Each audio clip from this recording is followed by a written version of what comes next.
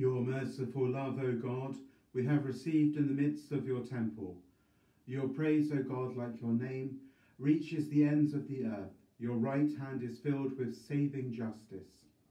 Glory be to the Father, and to the Son, and to the Holy Spirit, as it was in the beginning, is now, and ever shall be, world without end. Amen. Your merciful love, O God, you have received in the midst of your temple. Your praise, O God, like your name, reaches the ends of the earth. Your right hand is filled with saving justice. In the name of the Father, and of the Son, and of the Holy Spirit. The grace of our Lord Jesus Christ, the love of God, and the communion of the Holy Spirit be with you all. I welcome you to Mass on this Tuesday in the 14th week in Ordinary Time. We're offering this live stream Mass for the good estate of Chris Varghese. Uh, I believe it's his birthday, and uh, Father Rajesh is offering a foundation Mass. Brothers and sisters, let us acknowledge our sins and so prepare ourselves to celebrate the sacred mysteries. I confess to Almighty God and to you, my brothers and sisters, that I have greatly sinned in my thoughts and in my words, in what I have done and in what I have failed to do, through my fault, through my fault, through my most grievous fault. Therefore I ask Blessed Mary, ever Virgin, all the angels and saints, and you, my brothers and sisters, to pray for me to the Lord our God. May Almighty God have mercy on us, forgive us our sins, and bring us to everlasting life. Kyrie eleison, Kyrie eleison, Christe eleison, Christe eleison, Kyrie eleison, Kyrie eleison. Let us pray. O God, who in the abasement of your Son have raised up a fallen world, fill your faithful with holy joy. For on those you have rescued from slavery to sin, you bestow eternal gladness. Through our Lord Jesus Christ, your Son, who lives and reigns with you in the unity of the Holy Spirit, one God for ever and ever. Amen.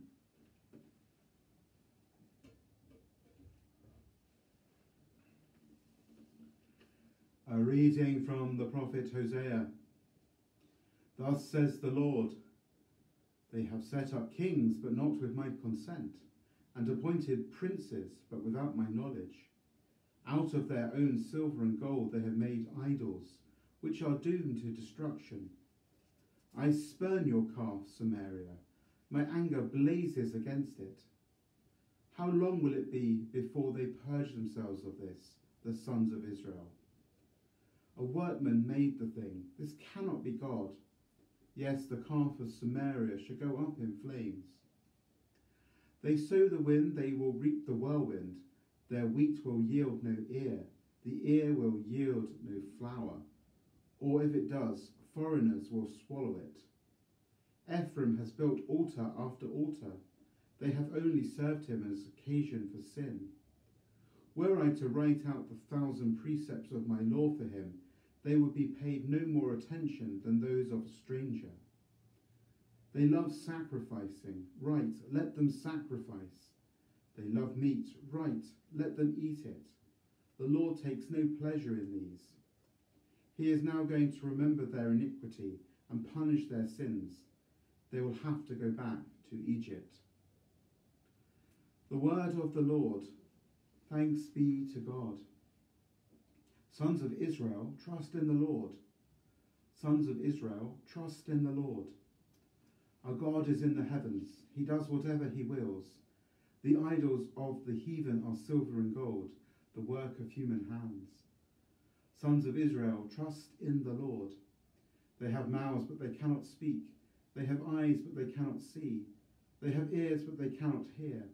They have nostrils, but they cannot smell. Sons of Israel, trust in the Lord.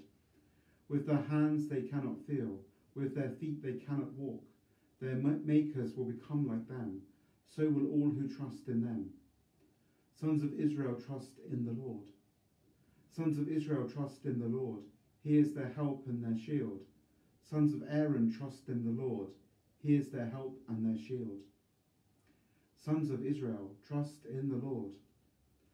Alleluia, Alleluia, Alleluia, Alleluia, Alleluia, Alleluia.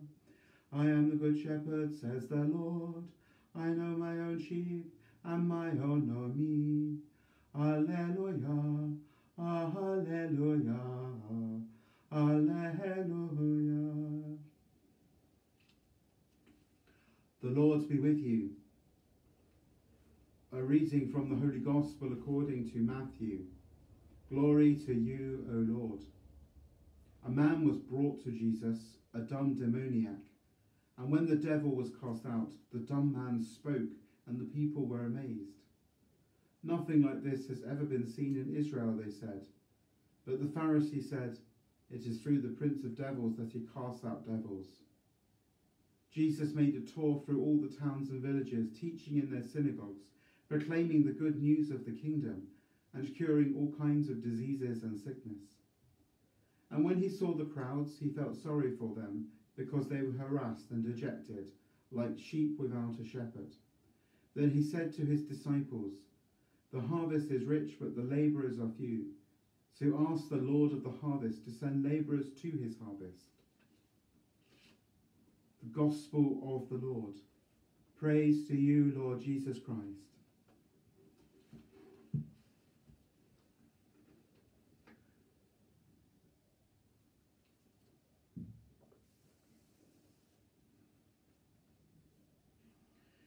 The people of God cry to him for help, claiming their special relationship to him.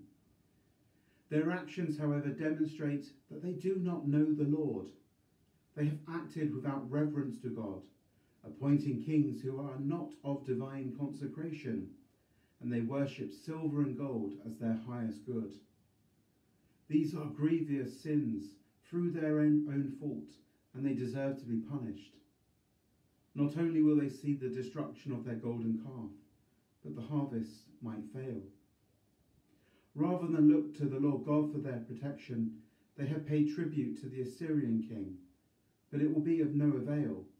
It is nothing short of a protection racket and will eventually lead to a loss of their freedom. It will also lead to a poison of their religion, Canaanite temples becoming interspersed with ones dedicated to the one true God. Thus, the religious services being offered, far from taking away the people's sins, have multiplied them. The offerings they make to the Lord do not please him, because they do not truly come from the heart and are not coupled with love of neighbour. We are always in danger of repeating the errors of the past. Our charity is to be extended to all without distinction of race, social condition, or religion, seeking neither gain nor gratitude. Jesus Christ went about all the towns and villages, healing every sickness and infirmity, asking for nothing in return, but above all, showing the people that in him the kingdom of God has arrived. The shepherds of the church are to have compassion for the people and lead them to green pastures, calling them to truth and life, to holiness and grace, exhorting justice, love, and peace. The church remains a visible sign that the kingdom of God is here and not yet. We are to gather people into it so that they may experience the coming of the kingdom in their lives and take their place in it as it is manifested in its fullness at the second coming of Christ. The harvest is rich and the labourers are few, so we must foster a culture of vocations in our parish so that we may all be fruitful in our spiritual endeavours and that no souls may be lost to the eternal life.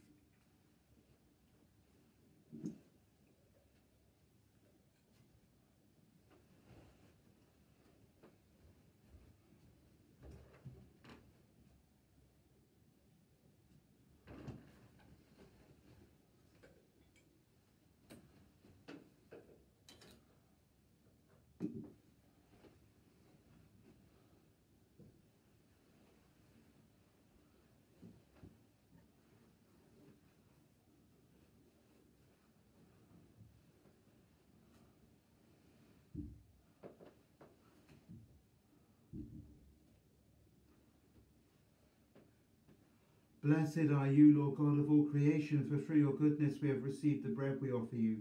Fruit of the earth and work of human hands, it will become for us the bread of life. Blessed be God forever.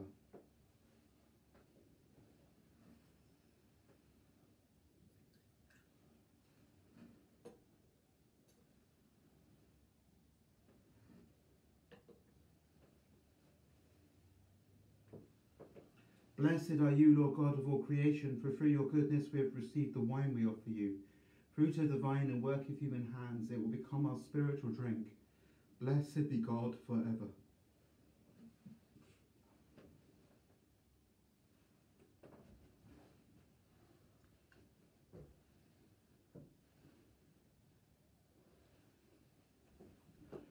Pray, my brothers and sisters, that my sacrifice and yours may be acceptable to God the Almighty Father. May the Lord accept the sacrifice at my hands for the praise and glory of his name, for our good and good of all his holy church. May this oblation dedicated to your name purify us, O Lord, and day by day bring our conduct closer to the life of heaven through Christ our Lord. The Lord be with you. Lift up your hearts we lift them up to the Lord. Let us give thanks to the Lord our God. It is right and just. It is truly right and just, our duty and our salvation, always and everywhere to give you thanks, Lord, Holy Father, Almighty and eternal God, through Christ our Lord. In him you have been pleased to renew all things, giving us all a share in his fullness. For though he was in the form of God, he emptied himself, and by the blood of his cross brought peace to all creation Therefore he has been exalted above all things, and to all who obey him has become the source of eternal salvation. And so with angels and archangels, with thrones and dominions, and with all the hosts and powers of heaven, we sing the hymn of your glory, as without end we acclaim. Sanctus, Sanctus, Sanctus Dominus Deus Sabaoth, pleni sunt caeli et terra, Gloria tua, Hosanna in excelsis, benedictus, qui venit in nomine Domini, Hosanna in excelsis. You are indeed holy, O Lord, the fount of all holiness. Make holy, therefore, these gifts, we pray, by sending down your Spirit upon them like the dewfall, so that they may become for us the body and blood of our Lord Jesus Christ. At the time he was betrayed and entered willingly into his passion, he took bread and giving thanks, broke it, and gave it to his disciples, saying, Take this, all of you, and eat of it, for this is my body, which will be given up for you.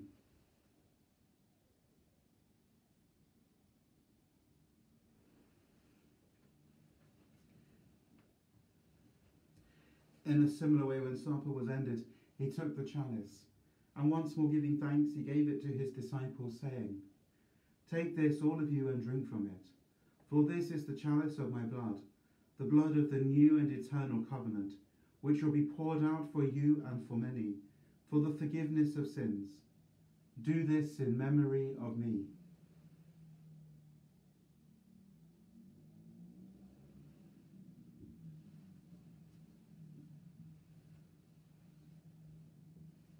The mystery of faith. Save us, Saviour of the world, for by your cross and resurrection you have set us free. Therefore, as we celebrate the memorial of his death and resurrection, we offer you, Lord, the bread of life and the chalice of salvation, giving thanks that you have held us worthy to be in your presence and minister to you. Humbly we pray that partaking of the body and blood of Christ, we may be gathered into one by the Holy Spirit. Remember, Lord, your church spread throughout the world and bring her to the fullness of charity, together with Francis our Pope and Richard our Bishop and all the clergy. Remember also our brothers and sisters who have fallen asleep in the hope of the resurrection and all who have died in your mercy. Welcome them into the light of your face. Have mercy on us all, we pray, that with the Blessed Virgin Mary, Mother of God, with blessed Joseph, her spouse, with the blessed apostles, and all the saints who have pleased you throughout the ages, we may merit to be co heirs to eternal life, and may praise and glorify you through your Son, Jesus Christ. Through him and with him and in him, O God Almighty Father, in the unity of the Holy Spirit, all glory and honour is yours forever and ever. Amen.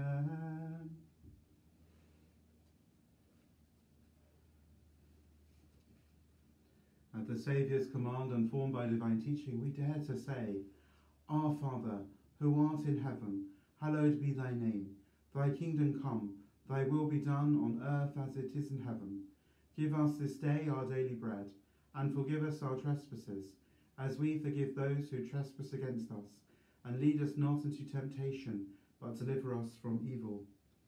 Deliver us, Lord, we pray, from every evil. Graciously grant peace in our days, that by the help of your mercy we may be always free from sin and safe from all distress, as we await the blessed hope and the coming of our Saviour, Jesus Christ. For the kingdom, the power, and the glory are yours now and forever. Lord Jesus Christ, who said to your apostles, Peace I leave you, my peace I give you, look not on our sins, but on the faith of your church, and graciously grant her peace and unity in accordance with your will, who live and reign for ever and ever. The peace of the Lord be with you always. Agnus Dei, qui tollis peccata mundi, miserere nobis. Agnus Dei, qui tollis peccata mundi, miserere nobis. Agnus Dei, qui peccata mundi, dona nobis pacem.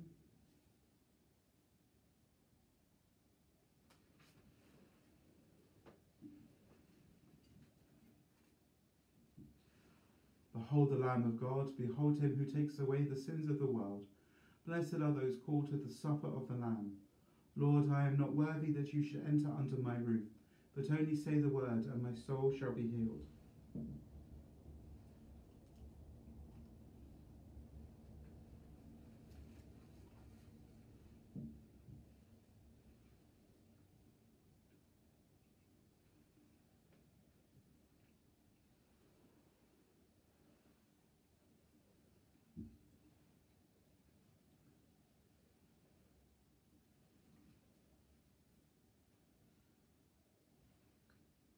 Taste and see that the Lord is good.